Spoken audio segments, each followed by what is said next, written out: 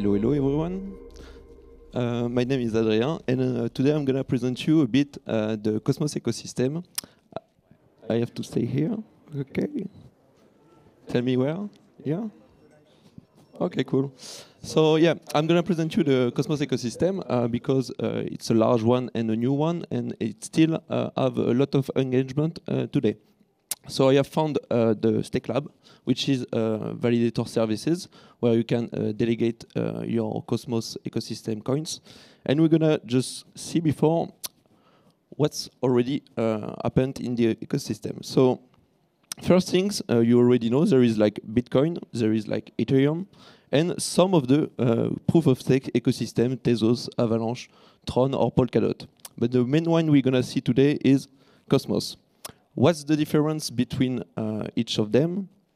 It's uh, in uh, the first part, it's working on the proof of work consensus mechanism, and the second one is working on the proof of stake.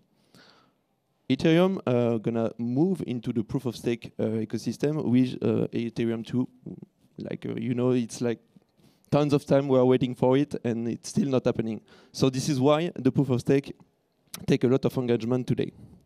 And we're going to see quickly uh, with uh, this little one, Atom, the Cosmos one, what's the difference between uh, each other. So the first thing is to understand uh, how does it work uh, technically behind.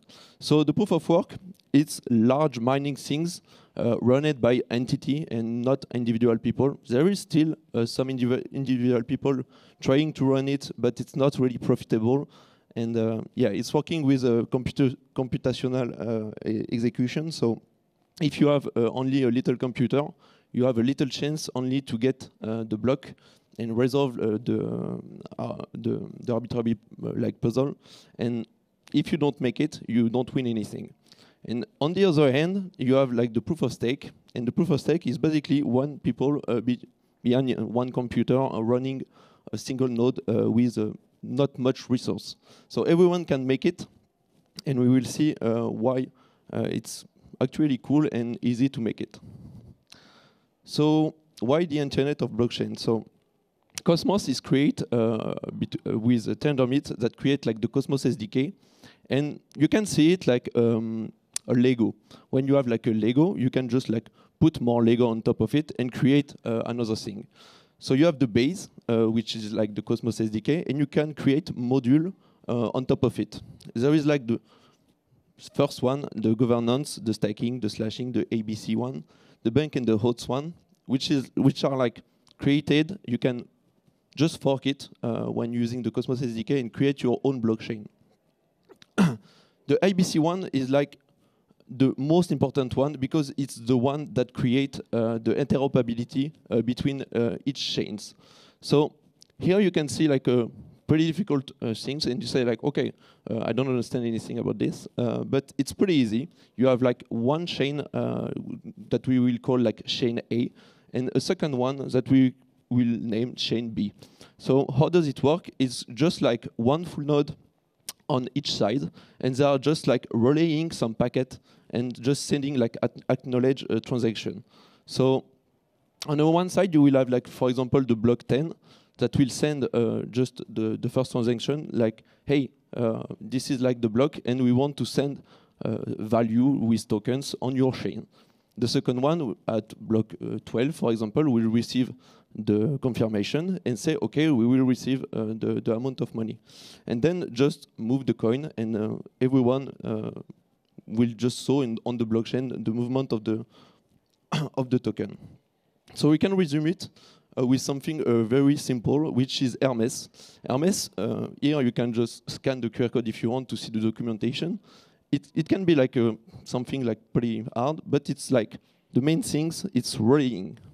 And when it comes to relaying, we will create channels.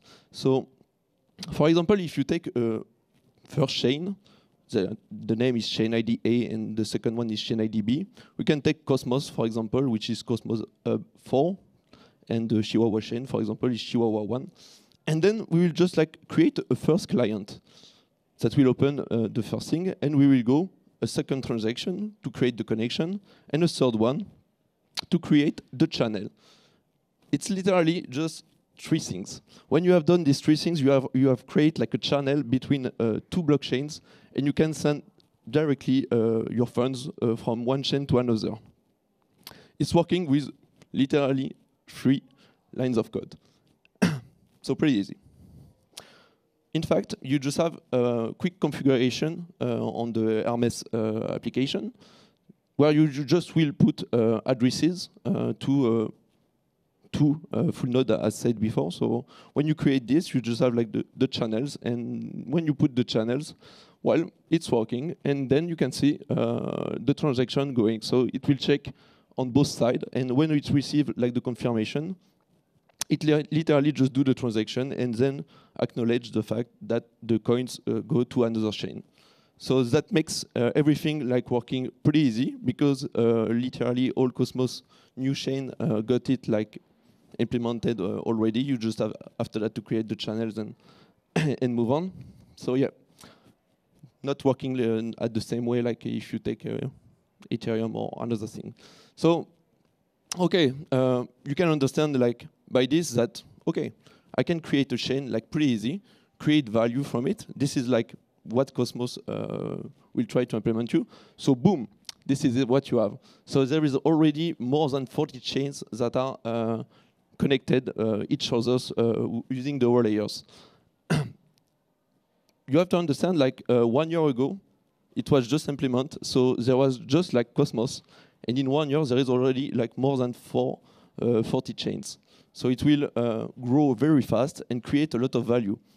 The thing is, when you are you have a project, for example, and you want to create value and add a, a, blockchain on top of it. For example, if you you have a businesses and uh, you want to just like have a register and uh, all your transaction on, it, you can just like fork it and you got uh, something called Stargate that makes you able uh, to, uh, in three or four clicks, let's say, uh, create your own blockchain and after that, relay to, to the each others and create value.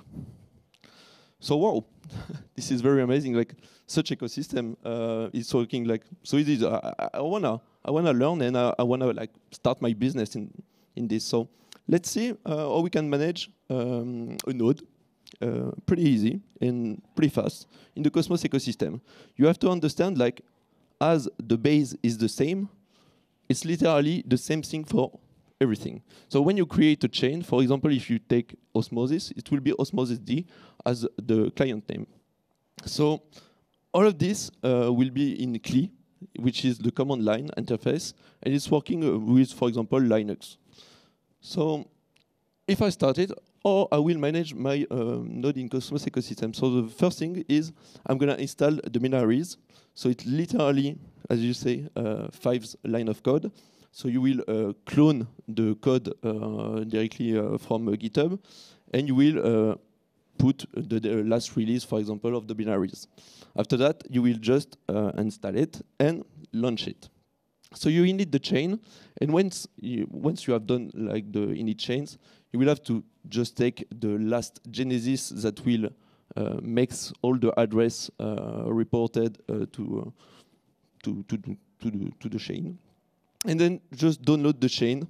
And once you have done it, you can just start the chain after just some configuration. So there is two files. Once for the configuration, uh, it's, it's, like if you want to change your name, for example, and the app, uh, which is uh, the part when you can change like the addresses uh, with the port. So after that, you just launch your chain, and that's it. You already have done it. So, okay, um, it's pretty easy. So let's see if we can make it in few clicks and say, this is pretty much it in few clicks. So I start with uh, the beginning. So I will install my, my binaries. So I take the first one. I have my server. I already installed the package, but it's not. It, it, it's all on the on the GitHub. It's pretty easy. So just to save sometimes. So I'm starting to clone. Once I have, oh, I hope my connection will work. It's demo time. Okay, when it's done, I'm gonna just move, this to the folder. Once I'm in the folder, I will check out the last version.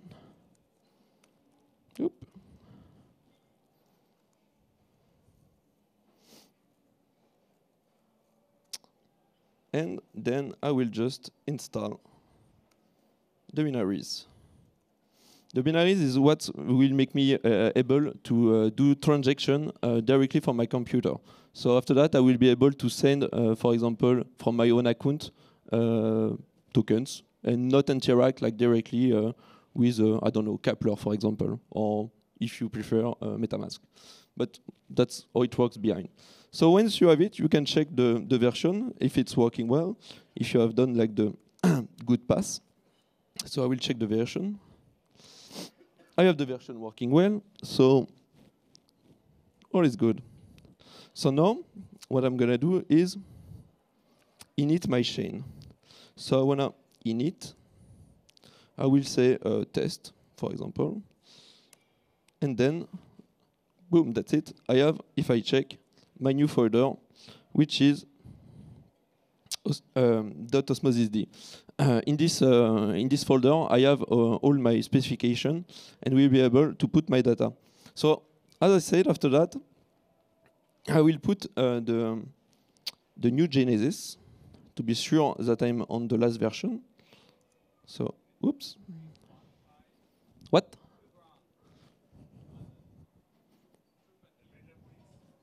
Hmm? Vous voyez rien? Oh. How can I make it uh, visible? Ouais, je crois que tu peux pas zoom. Um, I don't think I can size it, so I don't know if you see it like well on the screen at least. Okay. Sorry for your loss, guys. okay, so I'm, I'm gonna like end it so people can just like see uh, the rest. So Okay, I uh, I have this, and uh, sorry for if you wanna come, like you, you can you can just come here and just like look with me on this on the stage. It's it's pretty fine. So everything is ready, and uh, I have just like one other thing to do is like to put the data that we can uh, already like download from uh, any snapshot to make it like pretty faster. I have already downloaded, so I'm gonna just move. Quickly the data. Before that, I'm gonna just erase the first one. And I'm gonna up data and I'm gonna put it right here. That's it. And then now I should be able to just add uh, before uh, some specification and just like directly osmosisd start. And if I'm good, okay, everything is good. It's just like missing one thing, I think. Ouais, vas-y. Well, uh, there is like some people uh, providing snapshots, so you are able uh, to directly download uh, like if you prefer an archive node or just a default one and a custom one. Custom one is like the, the best one uh, when it's come like to uh, validating because you don't need like the full register of the blockchain. Archive node is just like to save the information and be sure that uh, everything that happened before uh, happened.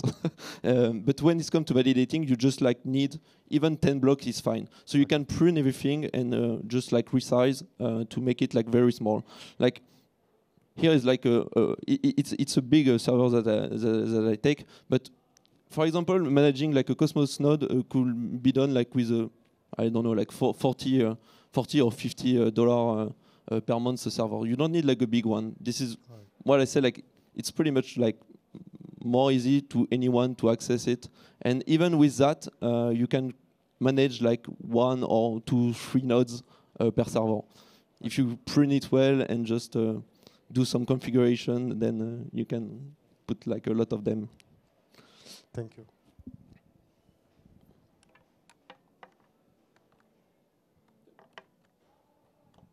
I'm gonna repeat the magic, quick. I just need the last things. So if you still have a question, waiting for them.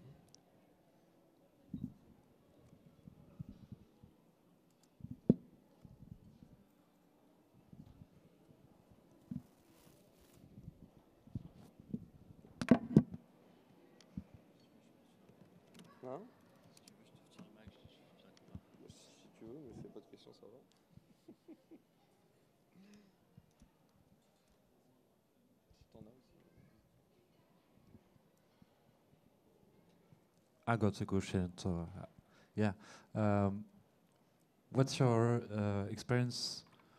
The, what's the main difference um, with, for example, Ethereum management? Uh, you said it's yeah kind of really easier, but what's also, um, for example, problems as node manager can be really stressful, and um, what's the what's your feeling about this? Okay, so I didn't explain it like very well, but you have like two kinds of things. Like running this is just like running a full node. Running a full node, you you have literally just nothing, no problem. You won't be slashed or anything like that. It's just like running the registry behind, and uh, you can use it uh, for your own purpose. And uh, if you want to check the data, uh, scrapping the blockchain, uh, or if you want to create like arbitrary bot or anything you want, basically it's just this. But when it comes like to validating, there is like a few things that we can see here if you want um, that will uh, be very important to remember. You have one specific file which is the private validator key, and the private private validator key is like the um, the key, the private key, with which you will sign every block. So when you are running a validator and not a full node, this key is very specific. If you use it like on two servers at the same time, uh, you will get slash because you will double sign.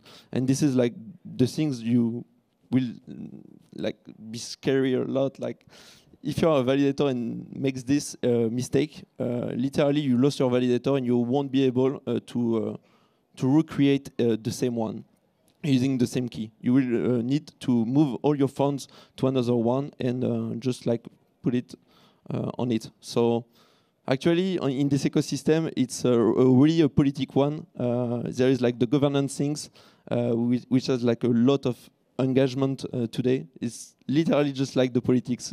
So when you run a validator uh, and you take like a decision to vote on a on a specific proposal and just say yes or no for example um, people can just uh, say i don't know pretty much things like you have to, to be like very specific. And for example, if you misbehave uh, on validating, everyone will shut on you uh, on uh, on social media, and uh, and you don't want this uh, because it's literally uh, you are an entity, you are a brand, and you have to to do the the good things.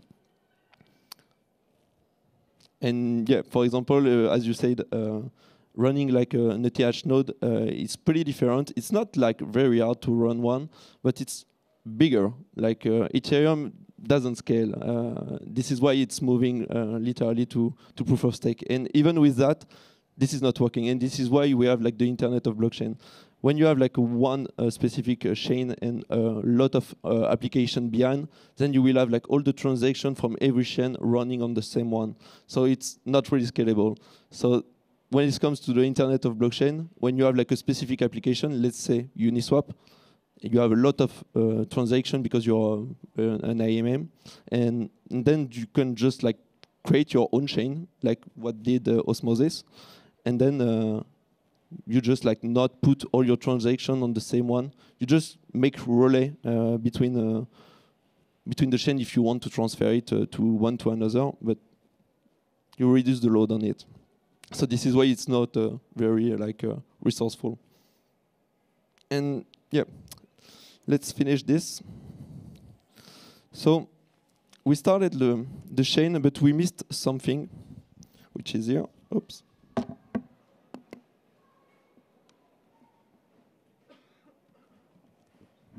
Okay. okay, so we retry this. We're gonna just open the config file.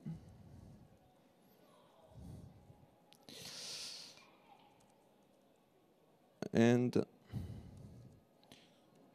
not that easy with one end. Okay, so this is my config file, just here. There's a lot of things, but yeah, actually you don't need everything.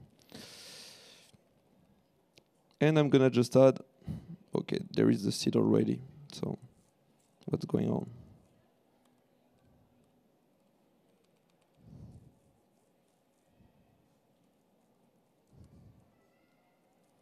Mm-hmm. Okay, this is this is bad.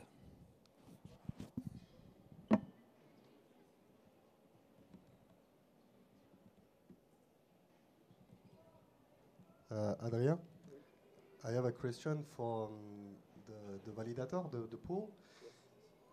So um, when we are choosing a validator and we are staking uh, Atom, um, and because there is like a lot of validator, um, I want to know if there is only one validator that valid each block and it's like random, or you have more odds to validate if you are the, the, the more stake you have, the more chance you have to validate something. And uh, yeah, basically, um, is there only one validator that valid each block, or is there like a lot of validator that can validate the same block? Yeah. So this is the difference, like uh, with uh, proof of work and proof of stake. In proof of work, everyone is like dueling to have like the the block and the reward of it. Uh, in proof of stake, uh, it's just like sharing uh, the the full pool. Like everyone got like a percentage uh, of the chain staked on, on his validator. There is an, an active set. Only the active set benefits from the rewards, and yeah, you, you won't sign every block. It's just like you have the a percentage and you have this percentage of chance to uh, make the block. If you make the block, you don't earn more than any others. It's just like a pool of, of validators. And for example, uh, in Cosmos, there is uh, 175 uh, validators. And some people can say like it's not decentralized, but at least like I think it's I I think it is like to shut down the, the network. You have you need like uh, 51% uh, to make like for example a Sybil attack, and uh, it's not really easy uh, when it's come like to have like this amounts. Like you you will need like 70 uh, entity private key uh, to make uh, shut down like the the the network. So it's literally like pretty much impossible. uh, you maybe did see like the Ronin uh, attack uh, on the bridge, uh, which cost like uh, 800 millions. But it was literally nine validators and five of them managing by the same one. So yeah, nine is not really decentralized. Uh, when when you didn't check, like uh, in fact, like each entity uh, uh, is the same one. So this is something um, maybe uh, we should discuss. Is like maybe uh, one time uh, we will have like to KYC uh, all validators to be sure that they are like a specific entity and it's not like uh, directly uh, one guy managing like a lot of nodes.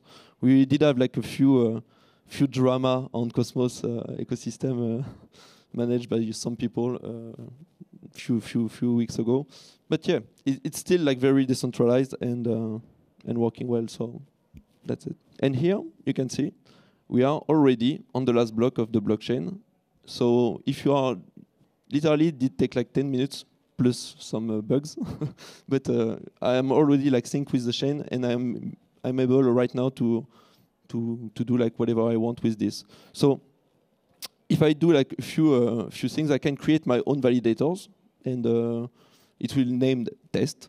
I will put like for example one token of it on it, but I will be like on the inactive set. On the inactive set, I won't be able to uh, get rewards. For that, I need to be on the active uh, set, as I said, and for that, uh, actually, it was pretty easy like yes, last years to to be able to do it, and now it's pretty hard. Uh, you will need like a few hundreds uh, of k. Uh, to, to manage to, to get in the active set. So this is why it's important uh, to, um, as a developer, I don't know if you, if you are guys uh, using like Go or, or Rust uh, language, but if you are, uh, just go uh, directly on the GitHub of uh, Cosmos or any chains working on it, uh, create value on it, and they are able to give you grants to make you able to have like your own brand, or even if you are an individual one, to have like your own business. And I think it's cool. And that's it. Thank you.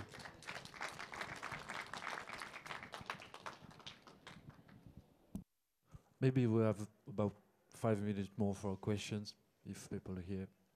Do not hesitate. Uh, I got one. Um, yeah, sorry, spamming the mic. Um, what's the most exciting project uh, you detected on Osmosis on Cosmos? Oh, uh, pretty hard to say. Uh, there is like a lot of new things. The last one was Evmos. We can say like EVM OS. I don't know. It depends on the people. Um, Evmos is like uh, is like Ethereum but on Cosmos. So you have like the directly implemented on the Cosmos chain the EVM compatibility. You have seen maybe uh, Cronos uh, create like a sidechain uh, EVM compatible.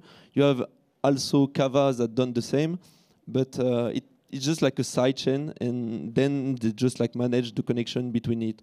Um, Evmos just like implemented like directly on it, and it's like a relaunch like two days ago, and in two days is, there is like already like millions of transactions. So there is it's pretty much the same. So you will see, uh, for example, in uh, in the Ethereum one, uh, creating like dApps like Uniswap or anything like that, and it's literally the same thing, working the same way. So people create like uh, some fork of um, of Uniswap, but managing the bridge uh, between uh, Evmos and uh, Ethereum. So you will be able, for example, to send ETH to WETH, like the wrapped one, and be able to manage them directly on the Evmos chain. So put them, put like all the value from Ethereum and just bridge it directly uh, into the, the Cosmos one. So I think this is like the most exciting thing uh, because it's totally new in the ecosystem.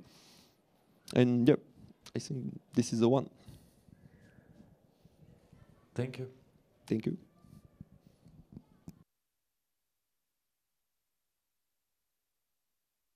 You, c- you can look at the blocks going if you want.